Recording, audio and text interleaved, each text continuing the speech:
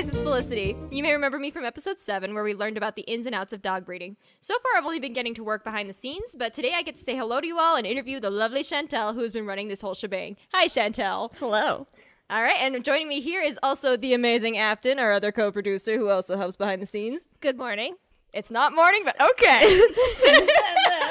Good morning. Good afternoon. Hello to all. Hello, Day. So, she and I will be your hostesses today. Chantel, thank you for having us here today in your lovely apartment. Why did I think this was a good idea? I don't know. You seem to like us despite the fact that we only eat your food.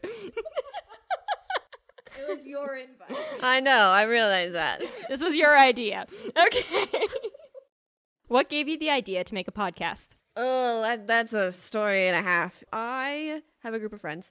We call ourselves the Naughty Doggos. We're great. There was a point where we hung out like literally every single night. We'd get together, do homework, play games, whatever. And in particular in this group, we discuss pop culture references all the time and we discuss movies and different things. And one of my friends suggested one time was like, "Hey, you know, it'd be kind of cool. What if we like just recorded these and like sat down and just had a podcast?" And so it was about a year, year and a half ago, somewhere in there, when I started looking into stuff for a podcast. And originally, it was just going to be one mic sat in the middle of the table, and we were all just going to sit and do this like pop culture discussion podcast.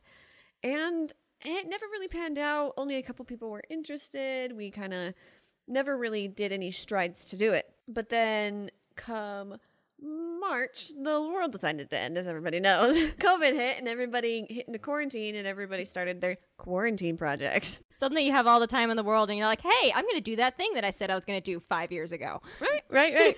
Might as well. yeah. So that's where the idea to do a podcast came from. But the actual like idea of what I would discuss about on a podcast, I was like, what would I do? And I'm like, well, maybe I'd like sit down and talk to people who have like really cool skills. I'm like, because literally, I tell you not, all my friends are freaking talented. Like our first episode with my friend Ethan, he does everything from writing to editing to screenplays to acting to doing all these things. And then there's my friend Nick, who was the third episode, and he was a sculptor. And just these people that I had met while attending school, I'm like, why is literally everybody around me so freaking talented? And so that just kind of where it started from. I compiled a list of people that I'm like, you know, it'd be really interesting to sit down and have a discussion with you and try to figure out, like, pick your brain for a bit. And so that's where the idea for the Talented podcast came from. Oh, that's very cool. Very cool. You made the idea with your friends and ended up being about your friends. So very fitting, don't you think? Indeed. Yeah. So what were your expectations for what making a podcast would be like? I thought this was gonna be so easy. I thought I'd just like everybody would want to take part, and I would just sit down with people and record. Be super simple. Editing would be super simple. I guess it didn't turn out that way. no, not at all. Unfortunately, people are indeed people, and things do not work out that way. people are people and do not work out. There was a person I was going to interview about doing dancing during the COVID era, and he agreed to be on the podcast, but we like could never set up a time to do it. So like scheduling with people was really really hard. That was one thing I didn't expect. Another thing I didn't expect was how long editing is going to take. It takes so freaking long. What was one of the troubles with it? Oh gosh. Where do I start? dun dun dun. I because I've done video editing before, and video editing is completely different from audio editing. The best way to describe, I think, audio editing is like writing a paper and editing a paper, but you can't see the words, and you just have to remember what the next words are and just put it together and make sure it makes sense. Yeah, that sounds really hard. I, like I write stories, I write essays on my own, and like if I couldn't see the words that were coming next, I'd just be sitting there playing it over and over and over until I had the whole thing memorized. And even then, I'd probably still be wrong. Is that your experience? Uh, kind of. Like I said, I didn't expect editing to take as long. I originally hoped that each episode of my podcast would be an hour. I recorded the first podcast with my friend Ethan, and I was like, you know, we're gonna do a half hour. and when I started editing, I was like, thank the Lord, my podcasts are not an hour long. So my podcast episodes are about a half hour long each. There's Yeah. a, f- there's a few that are longer, a few that are shorter, but it takes about for 30 minutes worth of audio. It takes about three to three and a half hours to edit it. Holy cow. Yeah, That's a lot of time. that's a lot of time. And producing this podcast did not pan out as I wanted to. I started the beginning stages of production of this podcast back in April. I bought the sound equipment, I bought all the things and got things ready to go, started doing sound tests and all these things. Granted, I got distracted by making Renaissance dresses over the summer. Which was super fun, by the way. Super fun. Definitely a big project that I didn't expect to take as long as it did. And so by the time we finished the dresses and I was ready to start the podcast, I got hit with quarantine and couldn't do anything for like two weeks. So There was delay after delay after delay. And initially, my plan was to record everything in August, edit through September, and then post into October through the end of the year. Well, I recorded in September, October, November, and December, and as edited as I'm gone, which is not what I've planned to do. And if I ever do it again, I will not do it that way. well, how will you do it then? I would make sure that everything is recorded before I post, even the first episode. And especially because I'm in my senior year of college, Yeah. it made it really hard because I always had to be like, okay, I have to focus on my schoolwork. And as soon as my schoolwork was done, I was like, okay, I have to finish editing the podcast this week. Yeah. I've been able to post every episode basically on time except this week's episode, which was the episode with Calgate about the King of Random.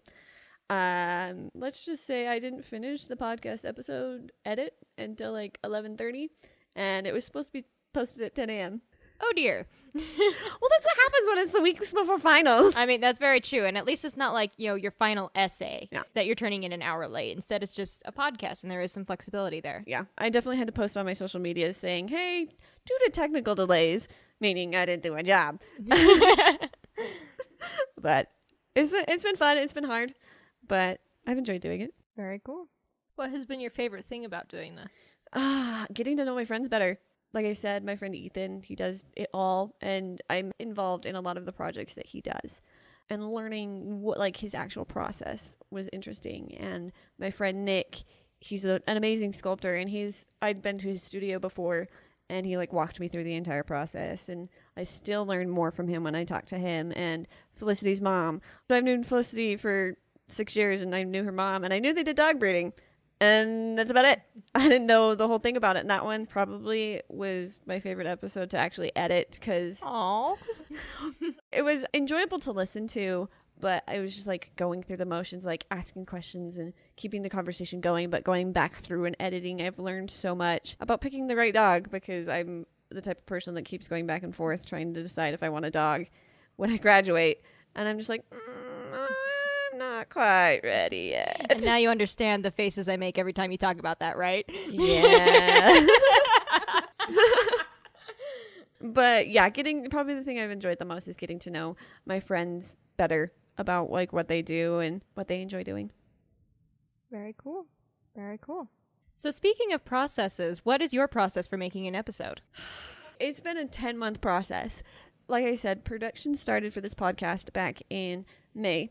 I sat down um, and I asked you guys to be my co producers, mostly just to be because I'm like, I will probably make all the decisions, but I need somebody to tell me if they're dumb or not. Which we tend to be pretty good at doing. Like, Is this a good idea? No. Try again. try again. How about no? Go to sleep and then talk about it. yes.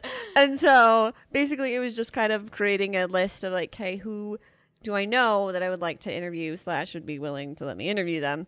Just creating and asking them to be part of a podcast and just like preparing questions. That's I felt like was not the hardest thing to do, but like the most important thing to do.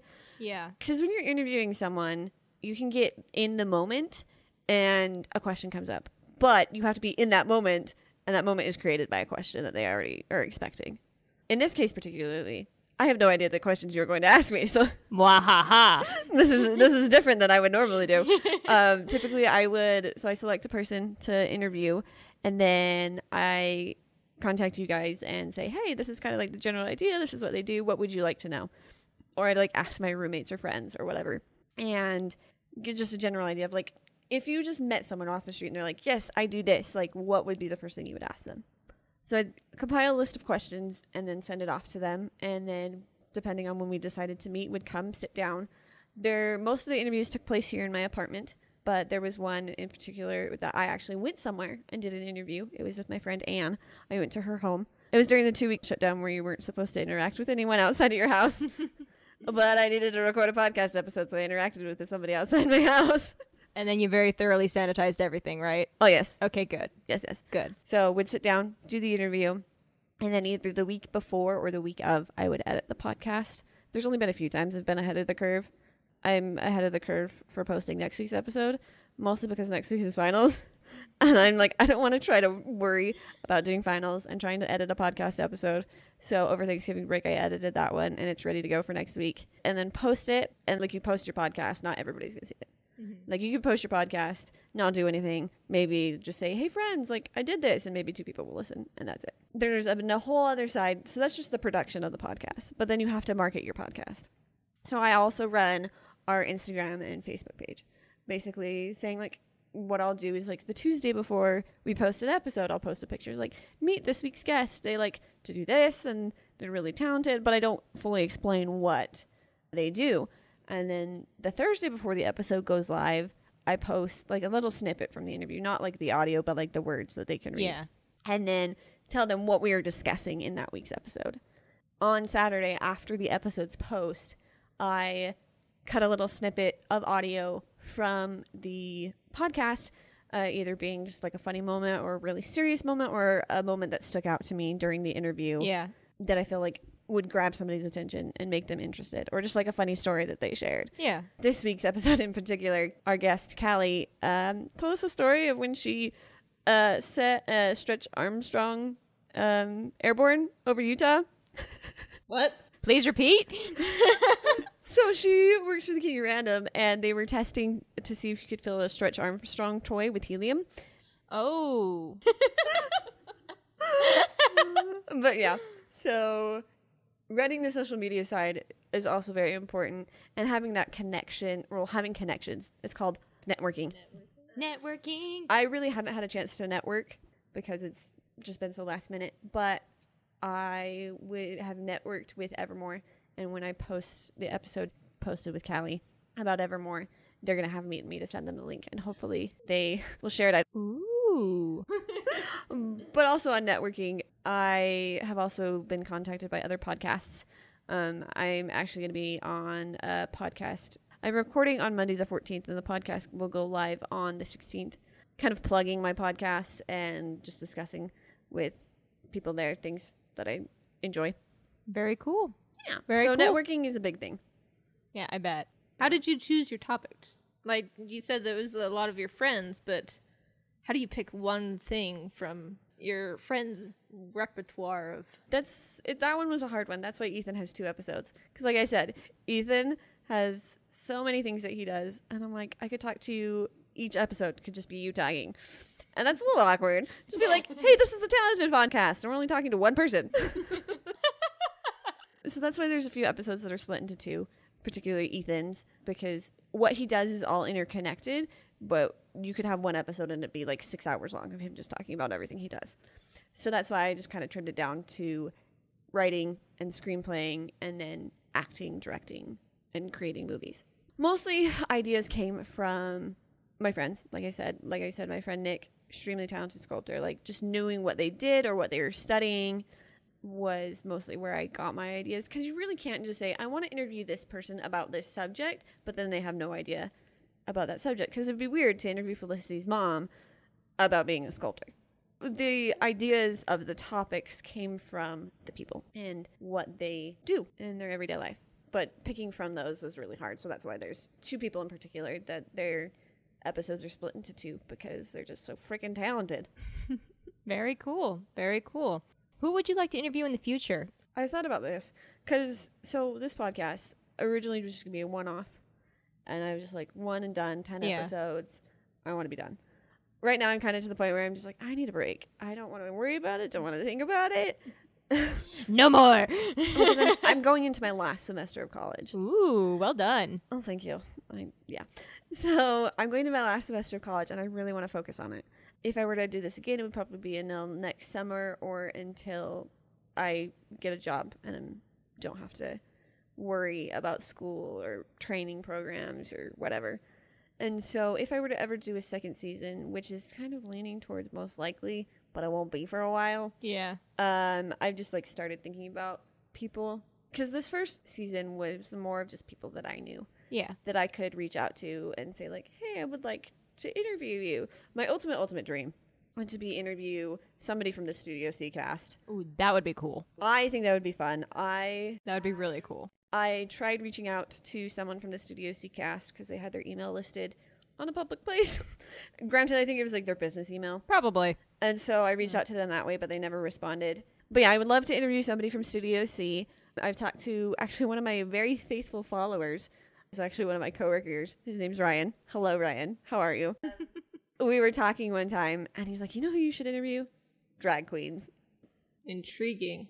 That would be an interesting episode. It would be. It'd be intriguing. Yeah, it would be interesting to interview a drag queen. I don't know any personally, so I definitely had to have to network that one. So if I ever do a second season, I would definitely want to do people who are more interesting than just my friends. I would like to do people who aren't aren't my friends, people who outside people outside of my friend group would be interested in listening to, like the general public would be interested in listening to. Like, don't get me wrong, this season has been great. I've enjoyed talking to my friends and getting to know them better and what they do. But I also would like to interview people that other people would find interesting. Yeah. All right. I have to like actually look at these for a second because like it's hard to find. I have all these questions prepared that are kind of like a train of thought, but Mhm. you answer some of them as you go. Yeah. That's also part of the thing is that you ask questions, like especially when I talked with Callie, she she's a great. Don't get me wrong, Callie was great, but she I would ask a question and then a follow up question would be coming, but she would answer that question without me already asking her. So I'd be like, And so you ran out of questions faster than I ran out of questions faster, and so that particularly this week's episode, the one with Callie uh, talking about the King of Random, she uh, that her episode is actually the shortest episode. That runs it. Most episodes are thirty to forty minutes. The average, I think, is about thirty, with two episodes being about forty minutes. But Callie's episode is only twenty five minutes. Her first episode is only 25 minutes. And then the one when Callie talks about Evermore, that one's about a half hour. But she had somewhere to be, and so we had to get it going. Were there any projects that kind of like hindered the progress of this? Yes. yes. No hesitation there. well the biggest thing, like I stated earlier, was the Renaissance dresses we did over the summer. Originally, my plan in the very, very beginning when I purchased these microphones, I was purchased them in April, hoping to have them because I ordered them from Amazon Prime. And you would think Amazon Prime, two day shipping. No. And because of COVID, Amazon had to delay a bunch of things, and I didn't get the mics almost till a month later. Oh wow, that's a lot even for Amazon, like especially for Amazon. And it was Amazon Prime. Ooh.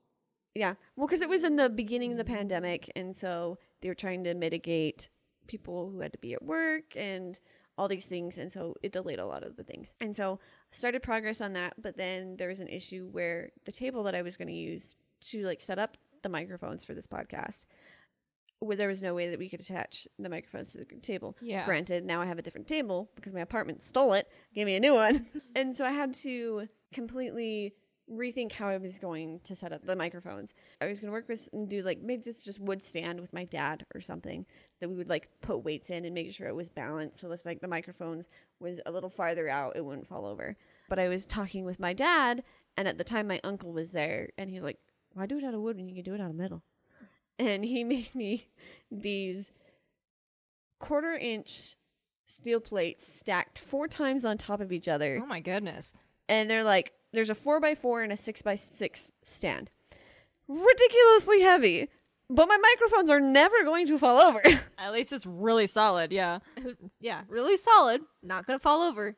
Why build it out of wood when you can build it out of metal? yeah why do it out of wood when you can do it out of metal so yeah so it was just like in the production process there was uh, um issues but then um we started on the process of making renaissance dresses for fun there was personal projects that came into the way but then like i said there was also when i was quarantined we were just about to finish the dresses up and i was getting ready to actually reach out to people and start interviewing them.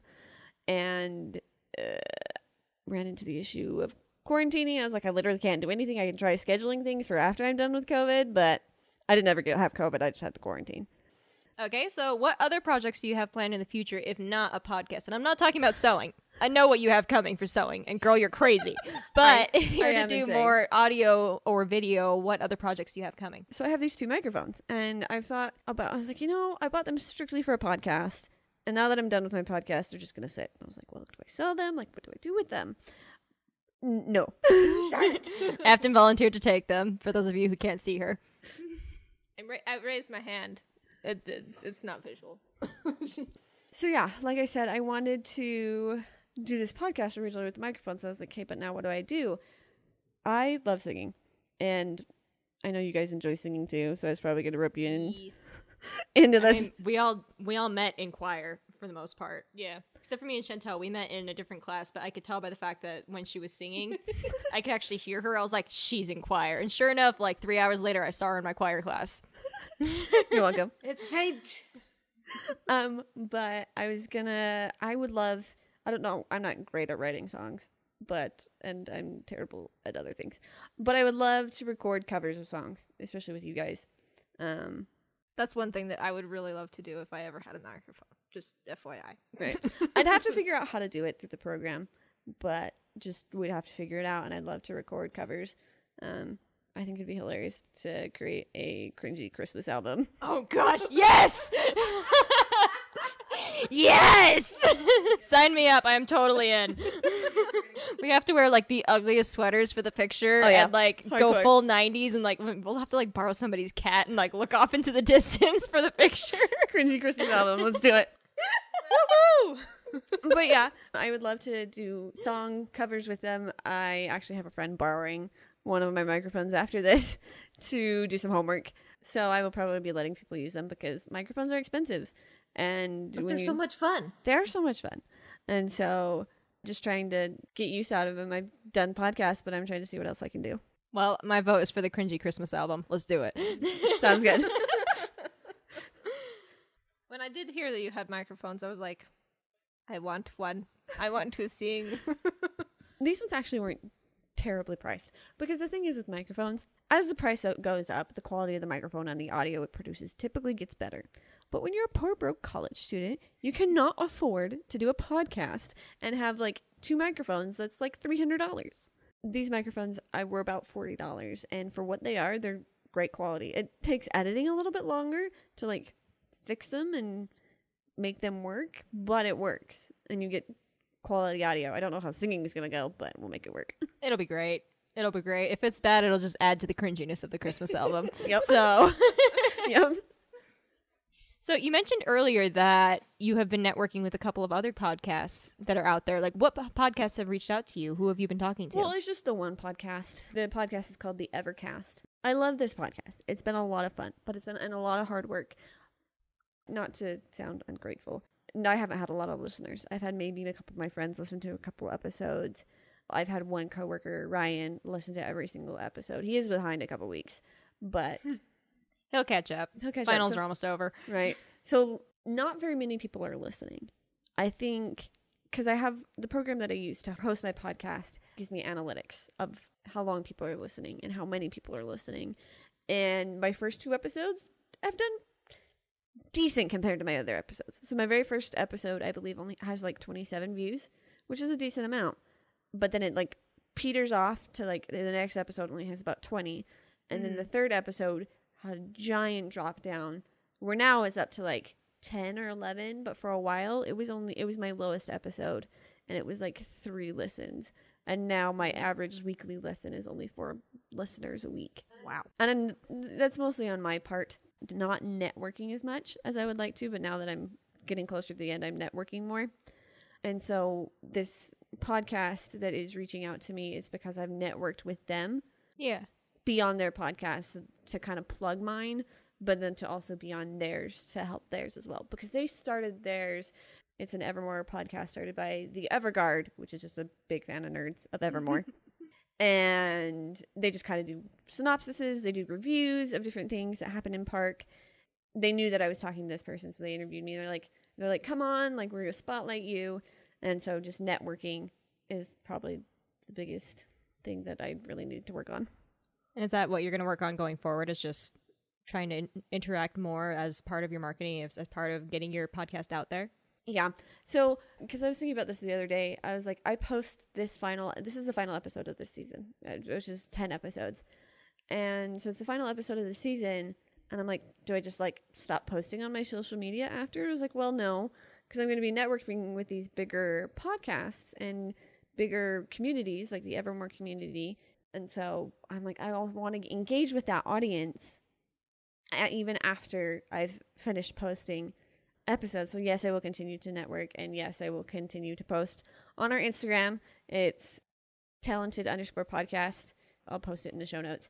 It's just, I will be posting there, keeping updates, giving even more behind the scenes peeks at you guys and the different interviews and the struggles of posting this podcast. But just to give some more backstory and history to it to keep audiences engaged. Yeah. Yeah, I think that's a very good idea. Yeah. Your friend Ryan suggested that you interview a drag queen. I almost wonder if he knows a drag queen. Probably. Probably. I think when I do um reach out and do second season, if I do, it's it's still on the fence if a second Yeah. season is going to happen. It probably if it it wouldn't be till next year. Yeah. But who knows what next year will bring and what you guys want me to make. I almost wonder if you could ask your viewers to suggest, hey, who should I talk to? Who would you be interested in? And that could be a way of interacting with your viewers. Right. That's why I cuz this like I said this season was more of just people that I knew and people that I knew I could get to come on the podcast. Yeah. There's definitely people that I thought I could get on the podcast and weren't able to. One of the people, like, if I were to do it again, I would definitely like lock him down, saying, "I didn't get you last time. I'm getting you now." Just tackle him and put a microphone up to his face and say, yo, talk. Tell me of your talent. Probably would be this. There, there just be the two that I weren't wasn't able to do this season: the dancer and a world-renowned chef. I was really excited to talk to both of them because I knew a little bit about what they did, and I wanted to learn more. So they they would probably be what I would do in a season two.